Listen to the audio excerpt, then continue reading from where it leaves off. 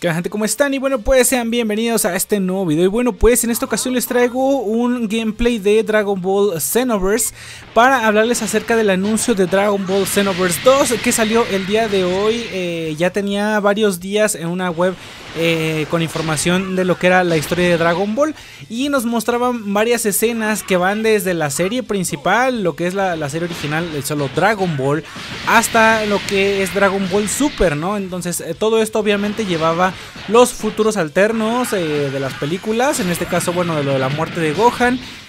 también contaba con las películas tanto de la batalla de los dioses, la resurrección de Freezer y como muchas otras que hay en lo que es la historia de Dragon Ball.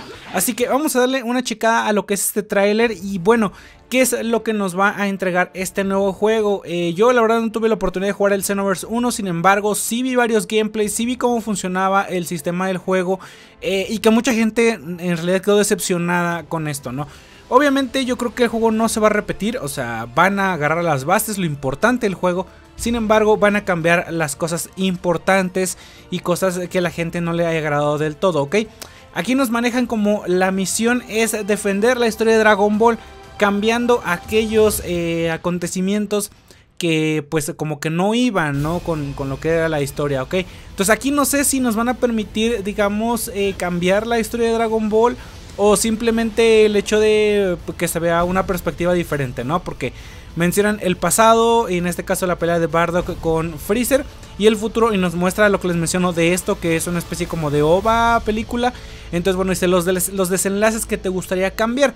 Es algo interesante lo que vemos por aquí en, en el tráiler. Entonces se ve que el juego va a estar bastante completo. Sale este año Xbox One, PlayStation 4, Steam.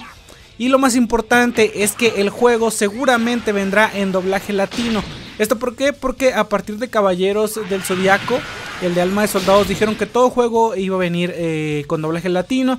Lo confirmaron con Storm 4 y bueno, eh, ¿qué podemos esperar? Voces originales de lo que es el anime aquí en eh, lo que es Latinoamérica. Así que esperemos que esto pues se ponga a la altura, ¿no?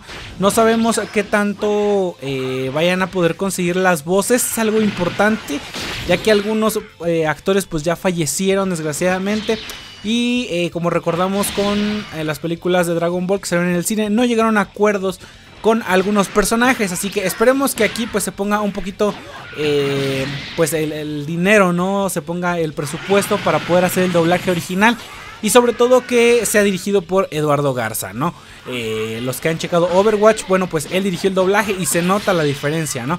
Entonces bueno gente, pues hasta aquí las noticias de Dragon Ball Xenoverse 2. Espero que les haya gustado, no olviden dejar su like. Nos vemos y bye.